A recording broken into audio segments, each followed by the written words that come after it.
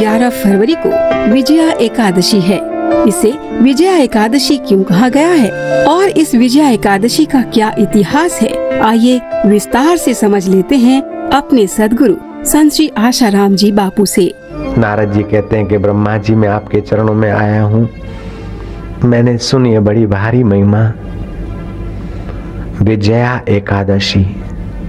प्रभु, विजया एकादशी का महात्म्य सुनने वाले को वाजपेयी यज्ञ का फल कहा गया है। विजया एकादशी व्रत करने वाला विजयी बन जाता है। तो ब्रह्मादेव, मैं आपके श्री मुख से विजया एकादशी का महात्म्य सुनना चाहता हूँ। ब्रह्मा जी ने विजया एकादशी का महात्मा बताते बताते कहा, त्रेता युग में श्री रामचंद्र जी का अवतरण हुआ और रावण सीता ले गया, राम जी सीता खोजते खोजते। जटायु तक पहुँचे और जटायु को गोद में लेते हुए राम जी ने उसे पूछा, तात, इतने बड़े भयंकर रावण से युद्ध करने में तुमको डर नहीं लगा? तुम नी हथे पक्षी और वो हथियारबंद एक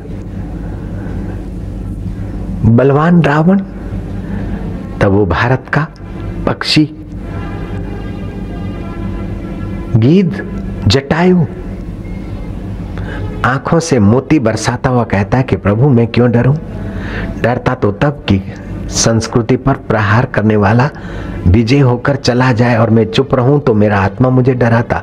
मेरी शक्ति के अनुसार मैं भिड़ता रहा तो डरूं क्यों? मैं अपना कर्तव्य करता रहा और फल स्वरूप आपकी गोद में आया हूँ। मैं क्यों डरूं अपना कर्तव्य करने में?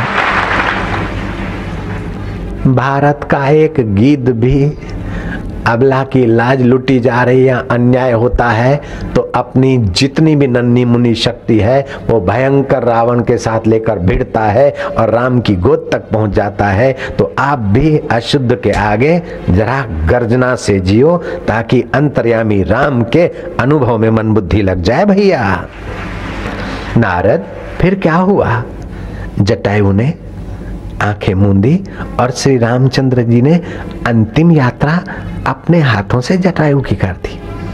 रामचंद्र जी सीता को खोजते खोजते जब पता चला हनुमान जी के द्वारा, स्वयं प्रभा ने योग बल से देखकर बताया तो अब दरिया के पार लंका जाना है।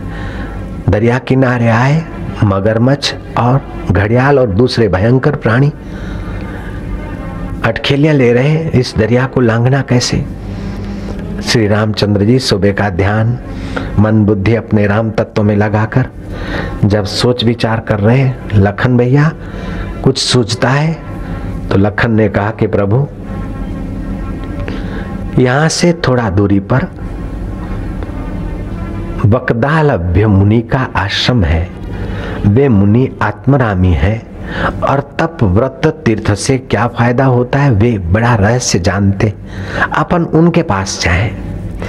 श्री राम और लखन भैया बकदालभ्य मुनि के आश्रम में आए और श्री रामचंद्र जी ने मुनि का सत्कार किया और मुनि भी पहचान गए। राम जी ने कहा कि हमें समुद्र पार करना के लिए कोई उपाय और हम इस नरा अधम रावण पर विजय हो, उसका कोई उपाय आपको सुझे तो बताने की कृपा करें। ब्रह्मा जी कहते, नारद बकदालभ्य मुनि ने श्री राम जी को बताया कि विजया नाम की एकादशी का व्रत करने वाला अपने कार्यों में विजय पाता है और इसका महात्म्य सुनने वाला भी वाजपेयी यज्ञ के फल को पाता है। दस सम को एक टाइम भोजन करे एकादशी के सुबह को संकल्प करे कि आज एकादशी का व्रत है। मैं अपने व्रत में दृढ़ रहूँ और मेरे मन बुद्धि को नारायण तुम्हारे चरणों में लगाऊँ। फिर कलश की स्थापना करे। पाँच फल कलश पर रखे और सात प्रकार का अन्न कलश के इर्द गिर्द रखे। चावल है, गेहूँ है, बाजरा है मठ है मकाय आदि। और धूप दीप से उसका पूजन करके जल देवता का सत्कार करें और जलदेव में भी स्वाद तत्व जो आत्मदेव का है, उसका पूजन स्मरण करें। हो सके तो दिन भर वहाँ जप, ध्यान और शास्त्र अध्ययन करें। रात्रि को भी जागरण करें और बारस को उपवास खोले। वो हर क्षेत्र में विजयी होने का फल पाता है।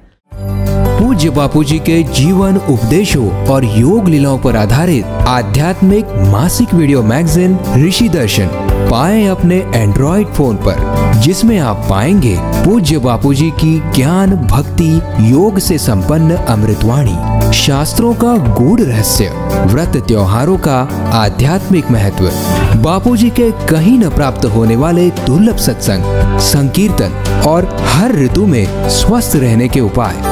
पूज्य बापू जी के मंगलमय दर्शन व संदेश आश्रम व समितियों द्वारा चलाए जा रहे सेवा कार्य। और कैसे गुरु कृपा से पाते हैं भक्त? सब कुछ।